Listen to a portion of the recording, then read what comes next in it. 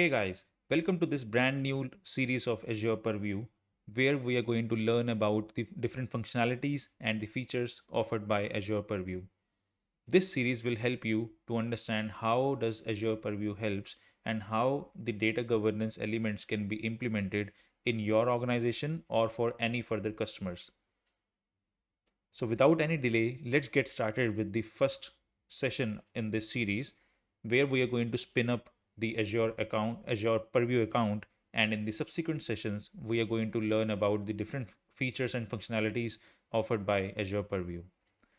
To start with this, you need to go to your browser and type portal.azure.com.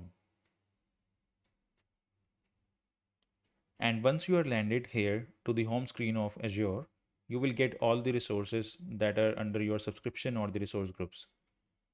For me, it's a new subscription. That's why there is no resource under my subscription. So I will create a new one. To create a new Purview account, you need to search Purview on the search bar and you will get this option Microsoft Purview accounts. Click on this and now click on create. Here you need to select your subscription. I have my single subscription which is pay as you go that is by default selected. Okay, I already created one so let me select that else you can also create a new resource group as well. Then I need to give the purview account name.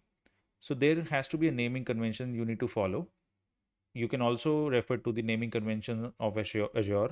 You can search Azure naming convention and here you will get all the naming conventions for each of the resource. If you scroll down, you will get what uh, what naming convention to be given to the subscription, to the source group, and all that stuff.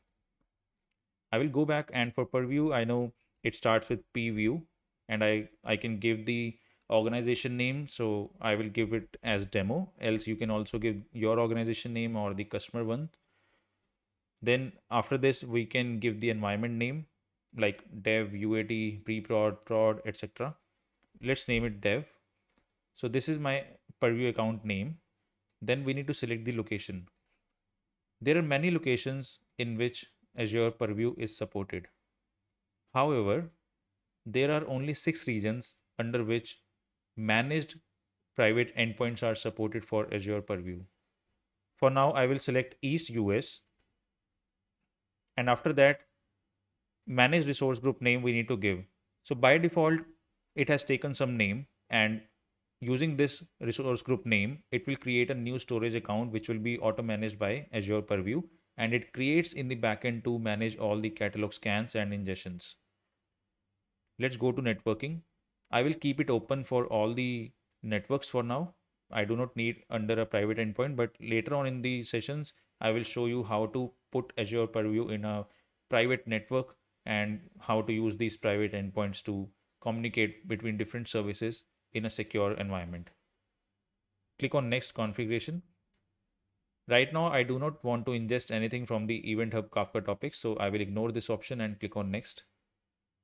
In the ideal situation, we should give some tags like environment as dev, and you can give other uh, tags as well, but I'm ignoring the other tags for now. Click on next, review and create.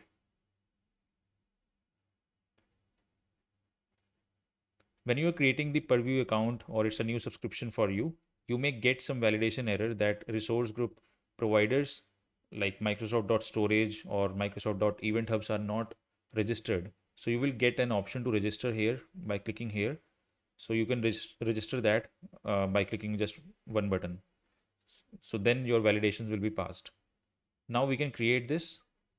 It will take few minutes for us to create azure purview account. So let's wait for this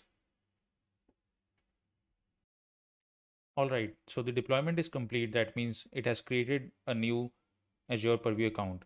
So we can go to the resource directly from here and you can see the Purview account has been created. That's all for this session. Let's continue to explore the other features in the subsequent sessions. Thank you.